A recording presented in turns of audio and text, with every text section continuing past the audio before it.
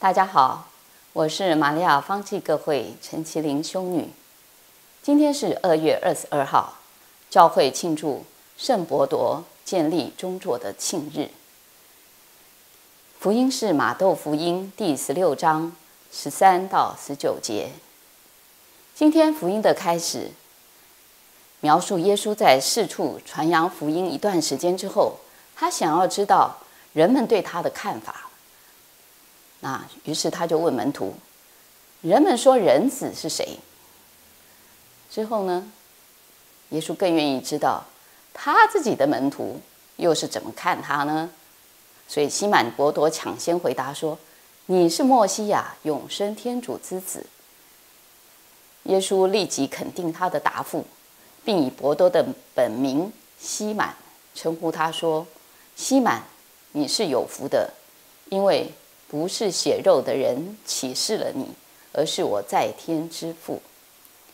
耶稣这时肯定了伯铎他的答复，但是他用“西满”这个字，是更愿意说明人靠着自己的聪明才智是无法认识耶稣的。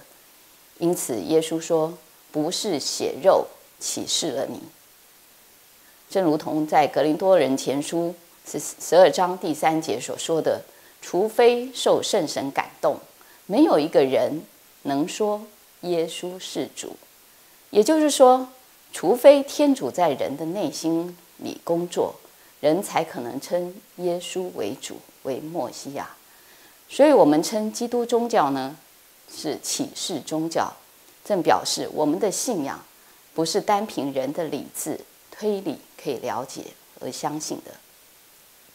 天主教的传承、信仰的传承，除非有圣经，就是圣神莫管、莫敢所启示的圣经之外，还有圣传，也就是弥撒当中我们常宣告的“我信中途传下来的教会”。好，这也是我们与基督教非常不同的地方。所以，耶稣在肯定了西满的宣告之后呢，耶稣改用伯铎这个名字来称他，对他说。你是伯铎，我要在这磐石上建立我的教会。死亡的权势绝不能胜过他。我们知道，伯铎是耶稣给西满取的名字。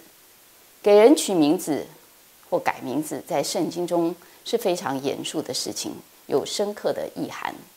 给一个人起名字，表示有一份归属的关系，对一个人的所有权。它是属于他的。伯铎这个字原文的意思就是岩石磐石，它象征一个稳固的基础、稳固的基石。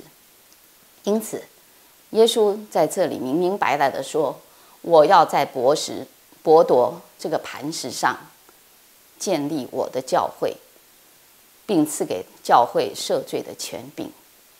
凡你在地上所释放的，在天上也要被释放。”这也就是今天教会庆祝圣伯多建立宗座的圣经基础。每个主日，我们都会宣告：“我信唯一、至圣、至公，从中途传下来的教会。我信罪过的赦免。”好，所以今天呢，我们也要特别为教会祈祷，尤其是为去年十月揭幕的世界主教会议祈祷。这次主教会议。非常的特别，会期长达两年，从去年二零二一到二零二三年，主题是以共荣、参与及使命来体现共益性的教会。关于这次的会议，有两个词会经常出现，那就是同道协行及共益性教会。简单的来说，就是教会总动员，大家一起来。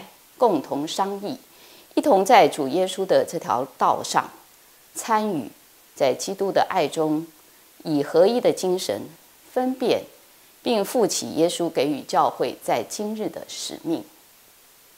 这个会议不再只是主教们自己关起来开会，用现代的词汇来讲，就是希望更接地气，希望听到所有天主子民的声音，因为要听到教会全体。天主子民的声音。所以，从堂区、修会团体、教会、平信徒的运动组织等等，广泛的要汇集相关的资讯。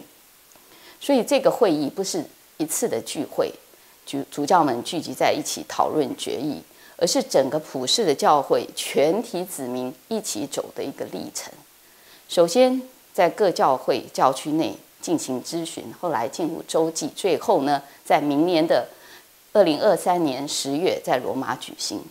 所以，我们愿天主圣神打开我们每一个人的心，让我们欢迎圣神在教中所有主教。也在每个天主子民的身上工作，使得大会的决议更能具体落实地将福音带给人，建立更公益的世界。